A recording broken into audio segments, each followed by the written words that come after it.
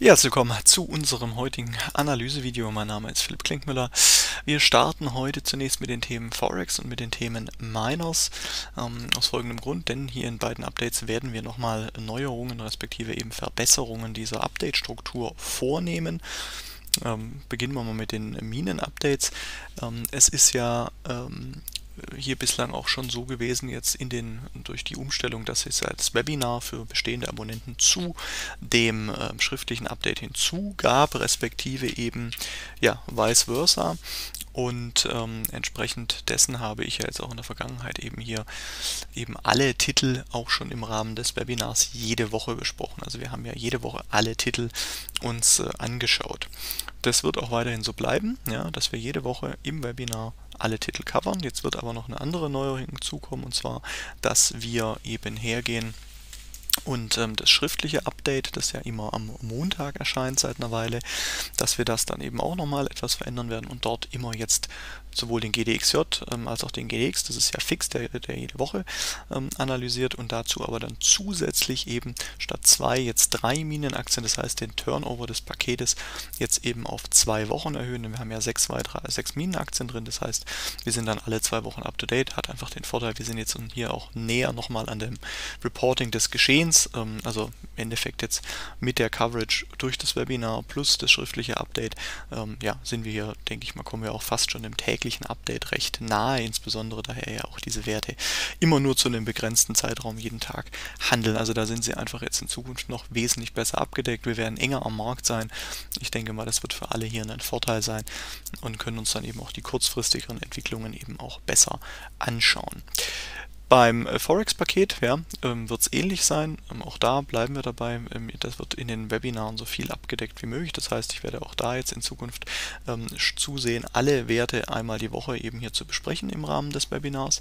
Und zusätzlich werden wir eben auch dort das schriftliche Update eben entsprechend aufstocken. Also schlicht und ergreifend auch einfach eben verdoppeln die Anzahl der Werte und die hier jede Woche erscheinen. Und dadurch werden wir auch hier in der Lage sein, eben bereits im Zwei-Wochen-Rhythmus dann eben alle Währungspaare Paare besprochen zu haben. Ja, ich meine, die gleichen Vorteile eben auch hier. Wir sind noch näher am Markt dran und ähm, können das besser abdecken. Wenn wir jetzt zusätzlich eben, wie jetzt aktuell eben auch im Forex-Paket ja wieder mit drei Trades geschehen, wenn wir da zusätzlich Trades jetzt direkt eingehen, dann wird es natürlich unabhängig davon kommuniziert per Kurznachricht, ob wir jetzt gerade das Update verschicken oder nicht spielt dabei ja dann keine Rolle.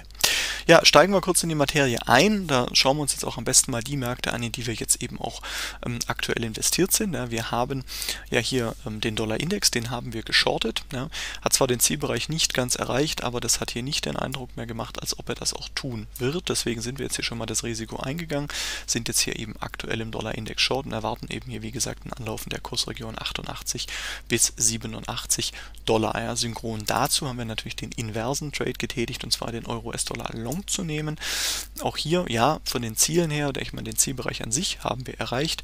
Die 4 hätte natürlich hier noch Platz gehabt bis in Richtung 1,1522, aber der hat hier schon wieder nach oben gedreht und ähm, ja, das sah eben auch hier danach aus. Ähm, wollten jetzt auf jeden Fall mal einen Fuß reinstellen, probieren, den jetzt hier mitzunehmen und ähm, ja, müssen jetzt einfach eben abwarten, wie sich das in den nächsten Tagen entwickelt. Wichtige erste Hürde, die 1,1824, wenn er die nehmen kann, dann äh, werden wir sehr wahrscheinlich auch schon direkt die Stops nachziehen und das Ganze dann eben sichern, absichern, das Thema. Ja. Jetzt ein sehr riskanter Entry, ja, aber den wollten wir uns auch nicht entgehen lassen, ist der Einstieg im Euro-Britisch-Pfund. Das haben wir jetzt nochmal geschortet, haben jetzt hier einen sehr, sehr aggressiven Stop gewählt, weil uns das einfach sonst nach unten eben etwas ja, zu wenig äh, Chancen-Risiko-Verhältnis gewesen wäre. Wir haben jetzt eben hier einen Stop gewählt, hier über dieses Zwischenhoch. Ich meine, wenn er das hier nimmt, dann kann das eigentlich schon keine impulsive Abwärtsstruktur mehr sein. Ja. Von daher haben wir den hier genommen. Wie gesagt, das stand auch in der Kurznachricht drin, die wir versendet haben. Das ist ein Hochrisiko-Trade, absolut. Ähm, also da ähm, ist die Wahrscheinlichkeit nicht ganz unerheblich, dass wir hier ausgestoppt werden.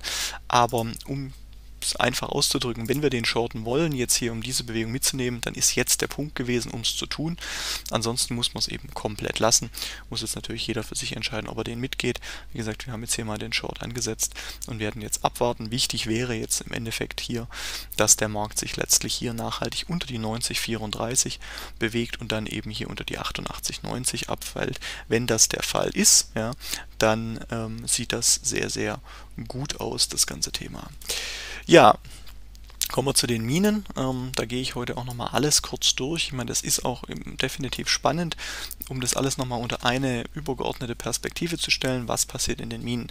Im Endeffekt sind die alle aktuell auf Kurs eben hier eine Welle 4 Zwischenkorrektur auszubauen, respektive anders formuliert, sie müssen es hier als 4 ausbauen. Tun sie das nicht, kann man nicht mehr davon ausgehen, dass diese Aufwärtsbewegung nachhaltig war, sprich eben nicht korrektiv ja, ähm, und eben dann auch zu neuen Jahreshochs fortgesetzt wird. Das heißt, sämtliche Zielbereiche, die man hier in den Charts sieht, angefangen hier beim GDXJ, hier zwischen 50 und 45, muss gehalten werden. Von dort muss die Trendwende kommen. Darunter ist mit einer rückkehrenden Abwärtstrend zu rechnen. Gleiches Bild auch beim GDX. Ja. Hier liegt der C-Bereich aktuell zwischen 36 und 33. Gleiches Bild unter 33 Rückkehr in den Abwärtstrend hochwahrscheinlich. Ja. Jetzt kommen wir zu einem Wert, First Majestic. Der ist schon in diesem C-Bereich, respektive an dessen Unterseite angelangt, hat das maximal ausgereizt, hat das mögliche Ziel für so eine 4 hier bereits deutlich unterschritten. Ja. Hier brennt bereits der Baum und auch jetzt mit der aktuellen Zwischenerholung in Silber, das Ding kommt nicht hoch. Ich muss es nochmal betonen. Wenn die hier wegklappt, dann sieht es für den Titel richtig, richtig übel aus. Ähm, denn dann können wir das hier nur noch als Aufwärtskorrektur zählen, weil dann ist das nichts anderes als eine dreiteilige Bewegung und eben kein Impuls. Wir kriegen da auch nicht irgendwie weitere One-Two-Setups oder ähnliches rein es lässt sich einfach dann nur noch korrektiv zählen. Ne? Das heißt, wenn der das überleben will, dann müsste der jetzt dem ganzen Markt vorweglaufen, respektive ähm, Silber müsste jetzt eben dann auch brutal Gas geben wieder, um diese Aktie jetzt hier mit hochzureißen. Ansonsten sehe ich hier ganz, ganz düstere Zeiten wieder auf den Titel zukommen. Und ähm, ja, wenn wir die Unterseite des Zielbereichs verlassen, ich habe es schon mit 45% hinterlegt, dann sieht das richtig schlecht aus. Ja? Also aktuell zeigt der auch null Gegenwert, äh, Gegenwehr hier kommt hier einfach nicht hoch. Da sind die anderen Minen definitiv noch viel entspannter unterwegs. Kirkland hat hier noch Luft. Ja, das passt ja auch in die weitere Perspektive von Gold. Also da haben wir hier noch genügend Zeit, das hier unten anzulaufen in der 4. Und den Bereich hier zwischen 60 und 55. Wir stehen jetzt bei 63. Das ist jetzt auch alles nicht mehr ultra weit entfernt. Also das ist hier gar kein Druck, der jetzt hier massiv drauf lastet. Natürlich auch hier nochmal betonend, egal bei welchem dieser Titel, wenn diese Zielbereiche nach unten verlassen werden und diese Levels nicht gehalten werden können, dann können wir nicht mehr davon ausgehen, dass es sich hier um eine 4 handelt. Es geht nicht. Ja.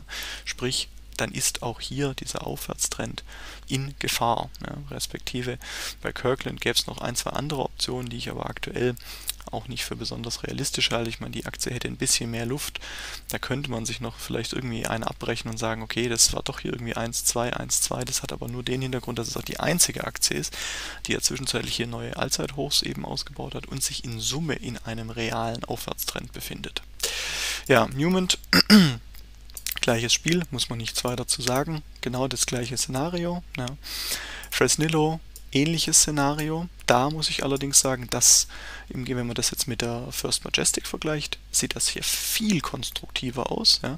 Wir hatten hier den ersten Abverkauf, wir haben jetzt eine ordentliche Gegenbewegung und wir könnten jetzt die C hier runter machen, also das wäre dann die A, die B, die C. Ja. Das heißt, wir könnten hier einfach diese Korrektur sauber zu Ende bringen und der Markt hat oder die Aktie hat halt den Platz dann auch, um diese Korrektur mitzugehen. Ja. Und das ist es halt eben, was äh, ja aktuell eben der First Majestic halt eben abgeht. Die hat diese Gegenbewegung nicht ausgebaut ja, und sich den Raum verschafft und wenn die jetzt hier in der C runterkommt, dann ja, hätten wir genügend Raum, um dann hier das sauber abzuarbeiten und dann könnte die von dort aus eben hochdrehen. Also das heißt, die sieht viel, viel besser aus jetzt im direkten Vergleich jetzt mit First Majestic. Ja, ja wie gesagt, geht gerade so weiter. Agnico auch hier, Situation, auch das sieht konstruktiv aus hier in Richtung, dass das ein guter Dreiteiler werden kann. Ähm, Barrick sowieso, die macht es auch sehr komplex. Da bin ich zwischenzeitlich sogar ähm, in, an der Überlegung dran, ob das hier nicht eventuell auch sogar alles eine Dreiecksstruktur werden könnte, ja, was dann eben dafür spreche, dass die Aktie das weiter seitwärts abbaut, dann würden wir das hier unten nicht erreichen, ja, sondern das halt eben jetzt hier in einer Seitwärtsstruktur etablieren, diese vier und dann weiter nach oben machen. Also die hat jetzt aktuell auch nicht den Riesendruck ja, in dem Szenario. Das ist wirklich jetzt aktuell First Majestic, die hier so hart unter Beschuss steht.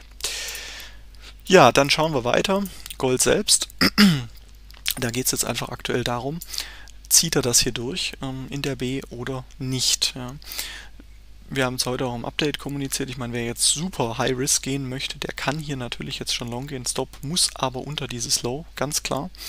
Uns ist das aktuell ein viel zu großer Stop ähm, im Hinblick auf das Chancen-Risiko-Verhältnis, denn ich meine, wenn ich jetzt hier einen 50-Dollar-Stop nehme, den brauche ich, dann muss ich halt 150 auf der Oberseite machen und ähm, dann müsste die schon hier nochmal so mindestens ans 88,7 ja retracen, dass das sich lohnt. Ja. Ich muss aber halt davon ausgehen, dass diese B schon bei 1970 zu Ende ist. Also habe ich 70 versus 50. Das ist kein guter Trade-off. Ja. Deswegen halten wir uns da aktuell eben entsprechend von einem Long-Einstieg fern. Ja, gleiches gilt auch für den GLD, ähnliche Situation. Auch wenn der das jetzt hinbiegen will, muss der auch schleunigst Gas geben. Ja, ja Silber hat hier in Summe den Zielbereich jetzt ja zweimal auch richtig deutlich nach unten verlassen. Hier auch nochmal ein neues Zwischenlow gebildet, kommt jetzt aktuell zurück. Das muss jetzt abgewartet werden. Sollten wir hier über 24,60 respektive 24,90, dann wäre auch hier so eine größere Gegenbewegung im Spiel. Ja. Und dann müsste man sich eben auch in Richtung eines Long-Einstiegs orientieren. Da ähm, sehe ich aktuell aber absolut noch keinen Grund dafür.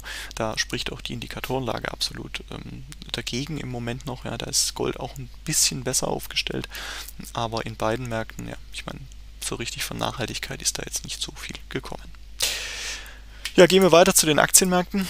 Da bestätigt sich weiterhin meine grundlegende primäre, ähm, sicherlich sehr bullisch orientierte, aber bislang richtige Einschätzung, was den Dow Jones anbetrifft. Der hat jetzt den zweiten Long-Zielbereich nacheinander abgearbeitet, knallt hier nach oben, hat jetzt auch hier diese 28,251 nehmen können, hier dieses letzte Zwischen-High hier, was in der B zuvor ausgebaut wurde. Und ähm, ja, wenn er jetzt hier weiter durchzieht, nicht mehr unter 27,531 zurückfällt, dann werden wir A hier sehr wahrscheinlich auch nochmal einen, äh, einen separaten Trade ausgeben. Ja, ähm, und zum anderen gehe ich dann davon aus, dass wir hier oben Kurse im Bereich der 30.000 Punkte anlaufen werden in den nächsten Wochen. Ähm, ja, ich meine, wer auch den Aktienupdates vom Herrn Kaiser folgt ähm, im Hinblick auf die Daueraktien, da läuft es überall sehr, sehr gut. Gilt auch natürlich auch für die DAX-Titel.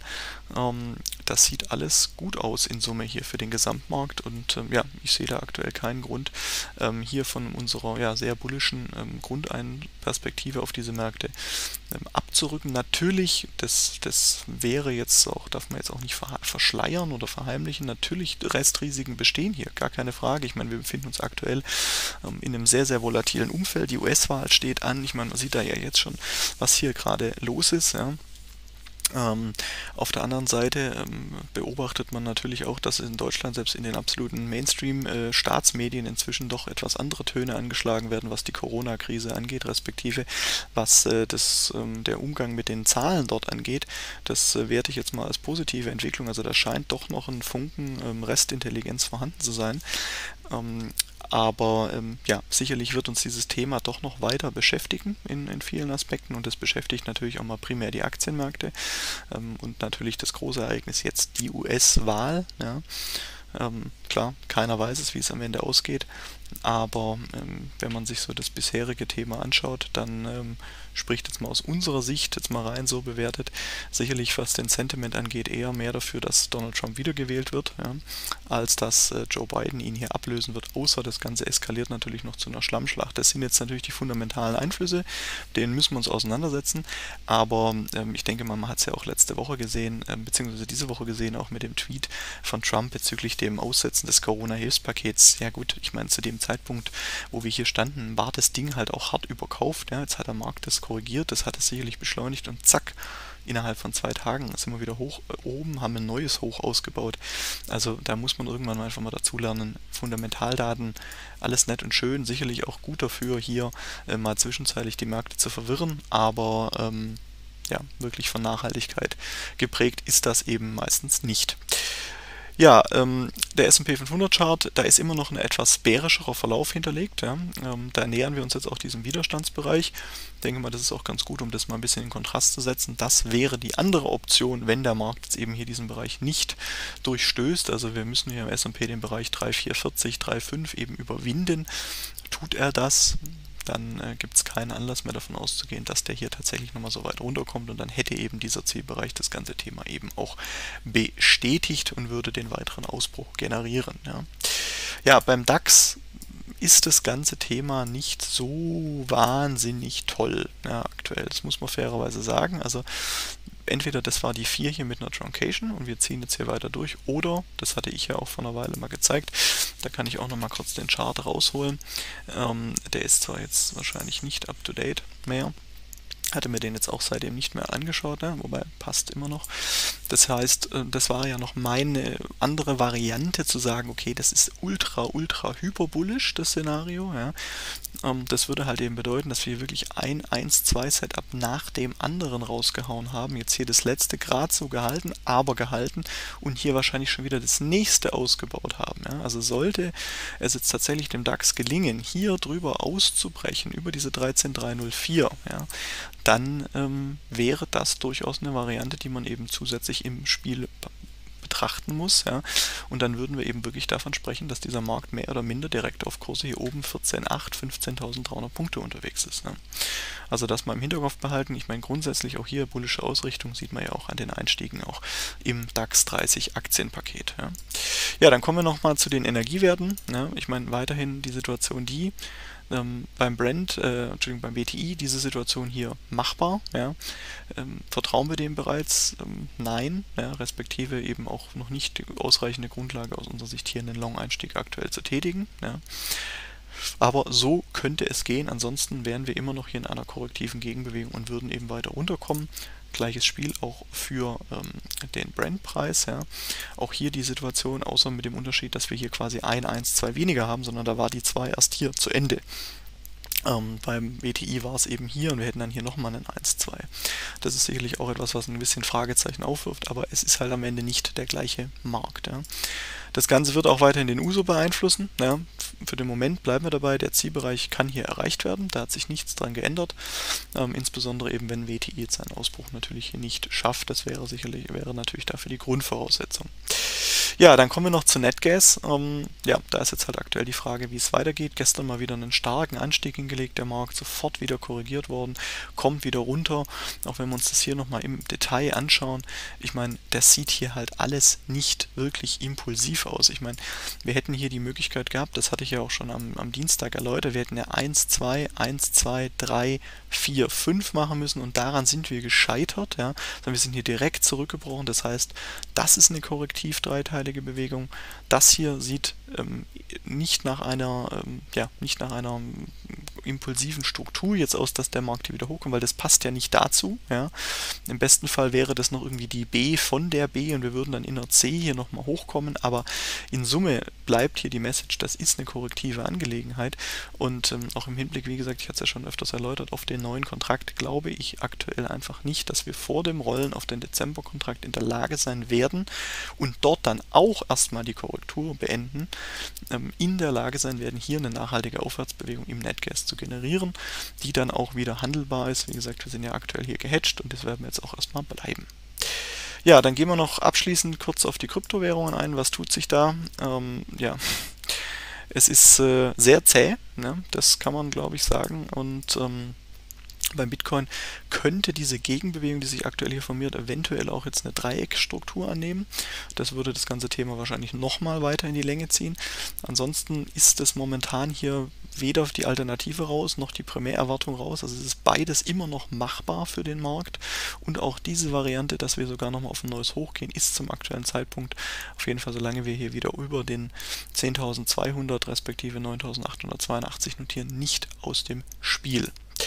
Bei Ethereum, ja auch hier zähe Angelegenheit, der sieht in Summe etwas bärischer aus, deswegen haben wir ja auch dieses neue Hochthema, das haben wir hier komplett vom Chart runter. Ähm, aber auch hier ist jetzt nicht klar, kommt das nochmal hier hoch oder war es das schon? Final können wir diesen Abverkauf dann wirklich eintüten, wenn er hier wieder unter 3.1381 fällt. ja, damit sind wir am Ende der Videoanalyse für diese Woche. Vielen Dank für die Aufmerksamkeit und bis zum Dienstag.